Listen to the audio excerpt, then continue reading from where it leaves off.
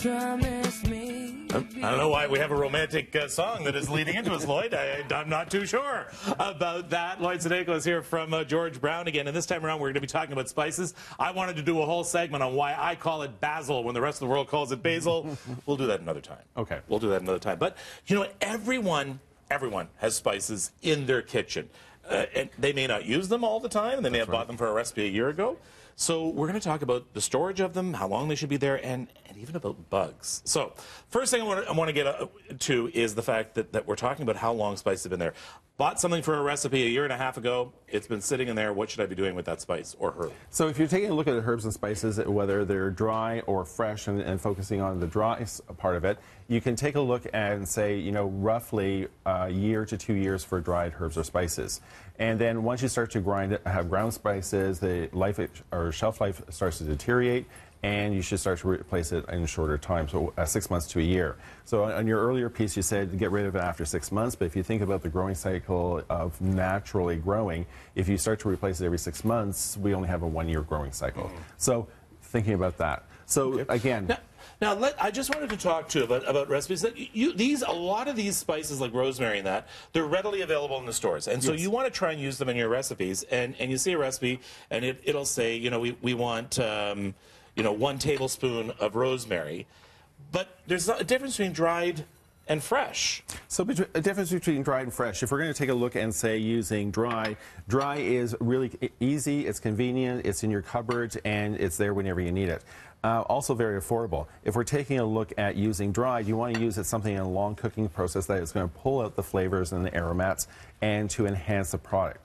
Something like a fresh rosemary will not do that for you, but also is much more expensive to keep it in your fridge and keep it healthy. So shelf life in the refrigerator may be up to two weeks for rosemary if you're lucky. How much am I using compared to a dry? Comparison of dry to fresh. So if you would use one teaspoon of dried, you would be three using three teaspoons of fresh. Okay. So it's a three to one ratio from dry to uh, now, you brought cilantro just because it's, it's a horrible, horrible, horrible plant and should be completely eradicated from the earth. There's a lot of people who don't, who don't like me, I, I'm, I'm with you in there. Who so. have a gene, and apparently yes. they don't like cilantro. Yeah. So don't so, mock someone. So I brought cilantro along because it's a common herb as well as rosemary, but also if you take a look at using fresh, uh, again, you know, you can buy it in a bunch like that. Uh, taking a look at having to wash it to prepare it to have it available in your in your uh, refrigerator.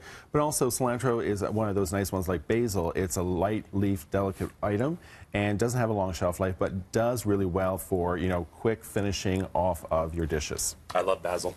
All right, uh, storage, storage uh, right now. Let's talk a little bit about that. So storage, we say that storage of the dried product should be in an airtight sealed container to prevent bugs from getting in or from bugs getting out from, if in case you have an infestation in one of your herbs or spices and getting into something else. Bugs like spices? Bugs like spices. We'll talk about that over here. Oh, okay.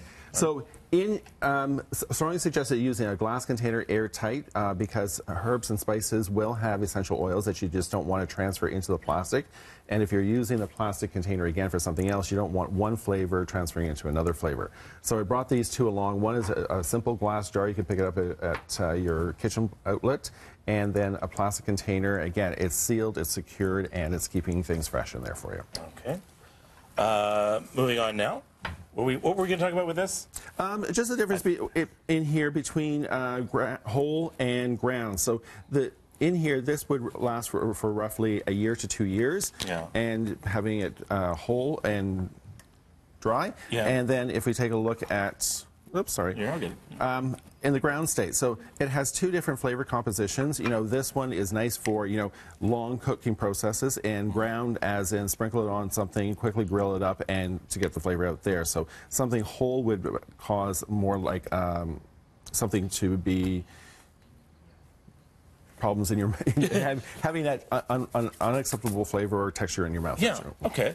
And and now you brought a couple of different kinds of paprikas. So what I did in here is I brought one from a bulk uh, location, mm -hmm. so in your grocery store or whatever, on the left-hand side. And okay. here on the right-hand side, we have uh, one that is from a package container. So in there, you're taking a look at the color, and this is paprika, and it's really nice, bright, vibrant color. As this would start to age, you would start to also see that it would go more of a darker, uh, paler color. Um, but also in here, talk, taking a look at paprika, because that's one of the chili or pepper uh, varieties tend to have problems with bugs in their in their infestation. And if you take a look and you really can't, you don't see really anything in this in here, but because it's fresh, the other thing you may have is having the problems with uh, small little bugs, almost like the size of like little sesames, and you'll actually see them actually moving around if they're Oh. alive and active. So that's So check. Is it paprika mainly, or is it is it a number? paprikas, um, chili powder, anything with a pepper base, you tend to find more problems in those. Oh, definitely something to check for. All right. Yeah. Thank you very much, uh, Lloyd Sudeyko from uh, George Brown uh, Wealth of Information. For uh, more information, uh, I want you to go take a course at George Brown.